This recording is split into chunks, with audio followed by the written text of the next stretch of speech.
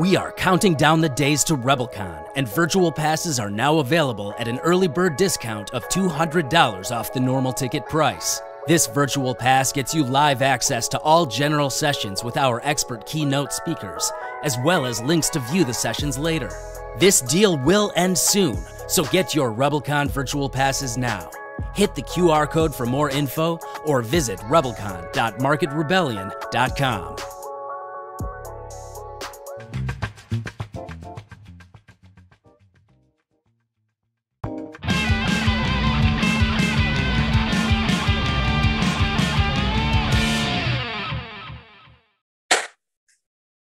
Hello, folks, and welcome back to Three at Three. Every day at 3 p.m., we try to bring you the best that we can as far as unusual option activity.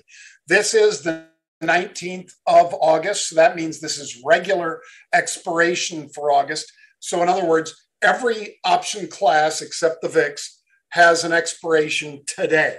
Now, some have weekly expirations, and those have already come and gone for the first part of August. There will be another weekly expiration next week. But this is the third Friday of the month. So that means uh, that we've got an option expiration. And because of that, unusual option activity tends to really accelerate into each of these big expirations. So, with that said, let's get started with today's three at three, the final one for the week of the 19th of, whoops, just one sec.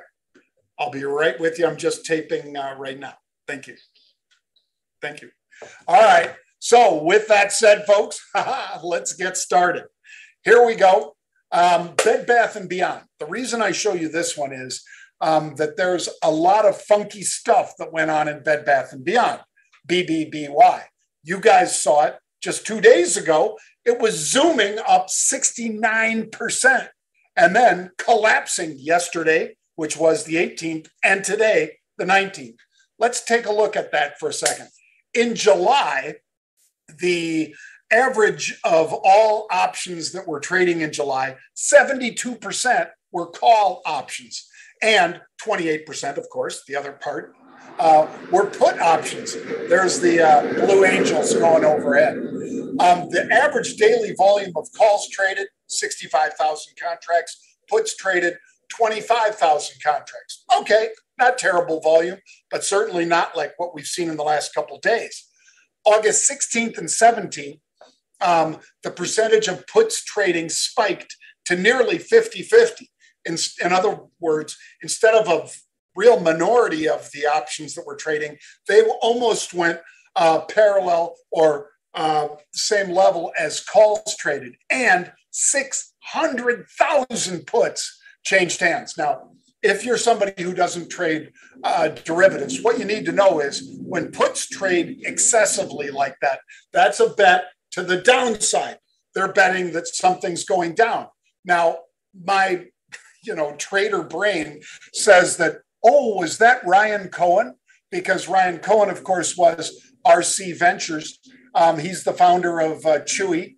He's also the chairman of GameStop. Oh, and um, he is a significant, or was a significant holder of uh, Bed Bath and Beyond stock and maybe options too. He definitely had upside uh, calls. And my question is, was he part of that spike in the puts that were trading on the 16th and 17th prior to him making the announcement with a 144 filing that he was exiting the entire position?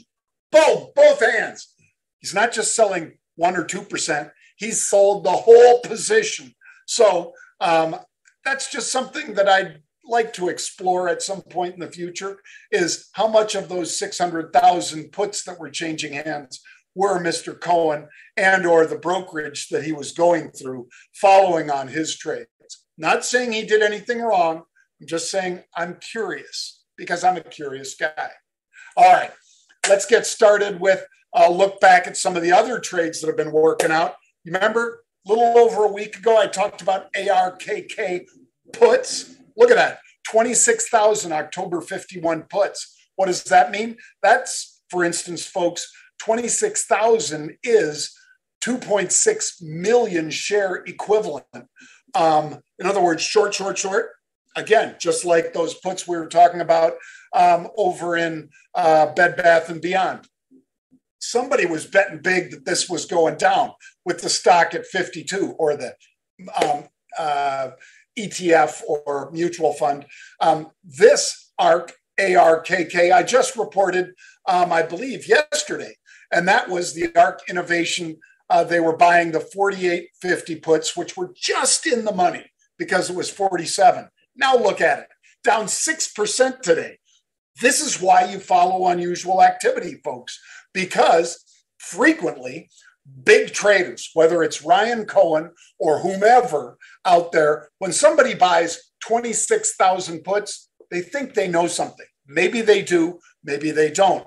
Um, but I want to follow those big traders, and that's what I do. So, ARK Innovation, these puts paid off big time uh, because the stock fell by, as you can see, almost $3 just a little bit ago when I put this slide up. 6% slide.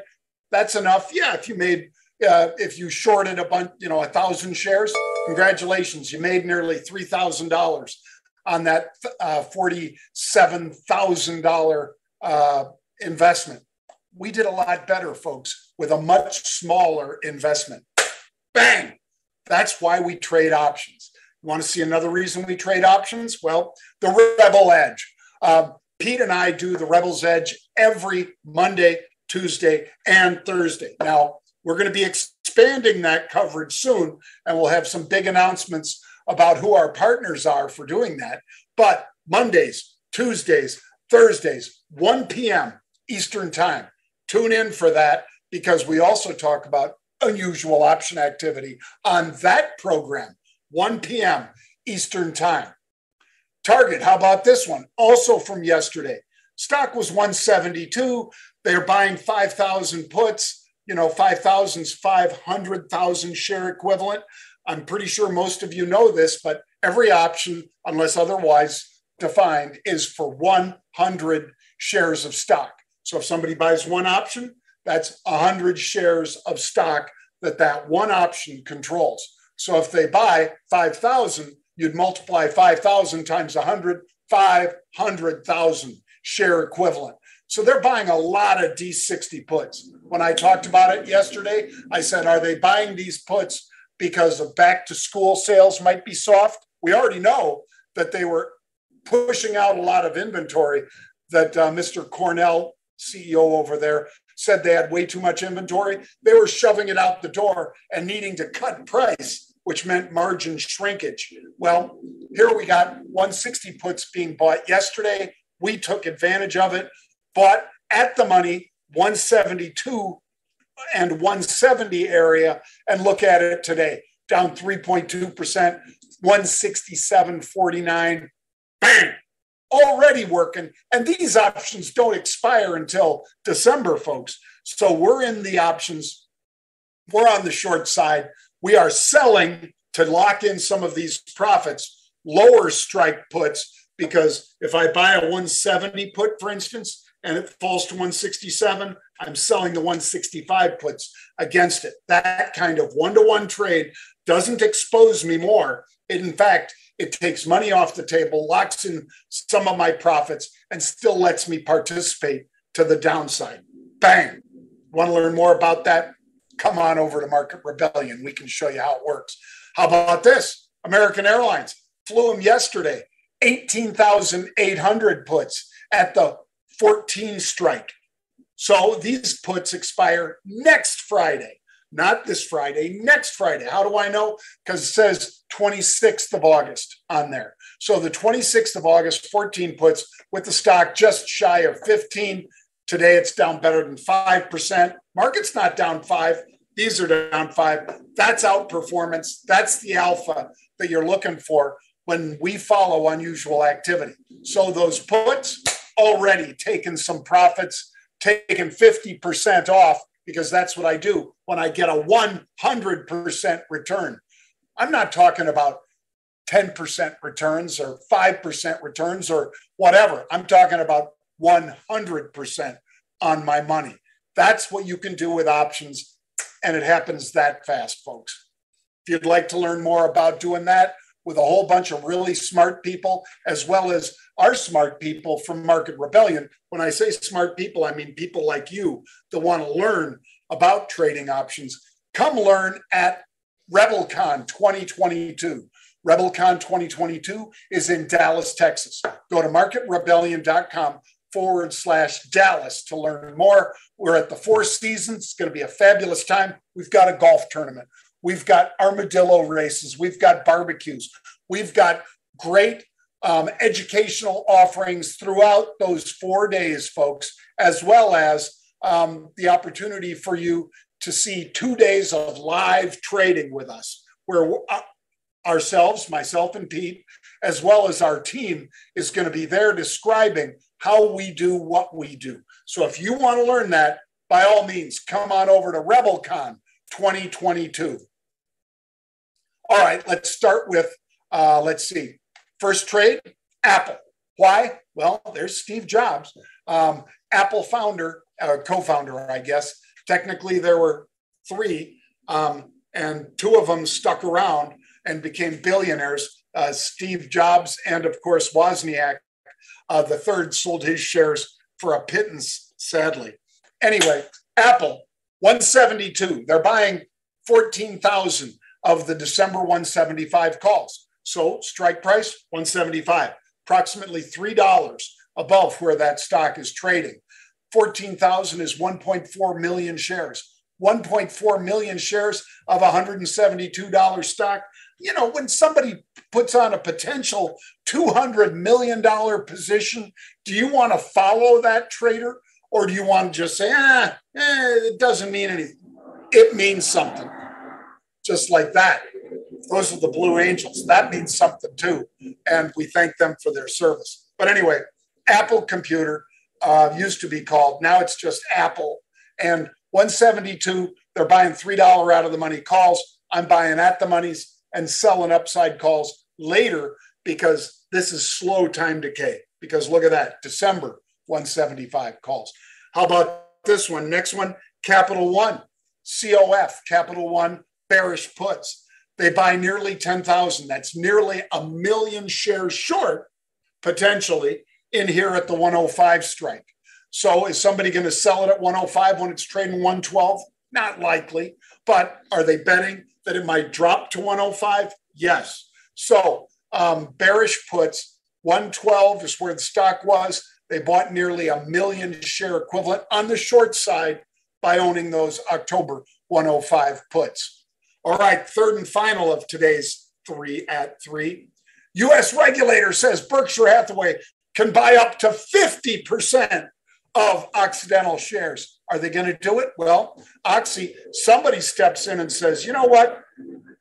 If Warren Buffett's adding to his position and might take it all the way to 50% before he buys it, um, 27,000, that's 2.7 million share equivalent of those next Friday. So that's not a lot of time. Next Friday, August 26th, 70 calls. So where's the stock trading right now? 69.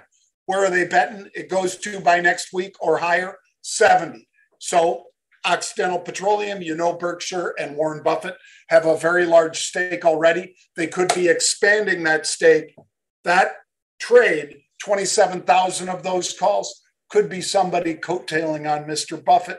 And it could be Mr. Buffett himself buying on behalf of Berkshire. He is one of the biggest derivatives traders in the world. That's going to do it for me, folks. If you'd like to learn more, sign up for the virtual RebelCon. That's the virtual RebelCon. It will be going on the 21st through the 24th of September. You get a virtual pass, and if you buy that pass before August 25th, you get it for $200 off. So check it out. If you can't come to Dallas for whatever reason for September 21st through the 24th, by all means, get the virtual pass. You save $200 if you do it before the end of next week. Do it now, sign up, or come see us live if you can. The marketrebellion.com RebelCon 2022. That's going to be in Dallas, Texas. Go to marketrebellion.com forward slash Dallas. That's marketrebellion.com forward slash Dallas. I'll see you next week, folks. Bang! Have a nice weekend.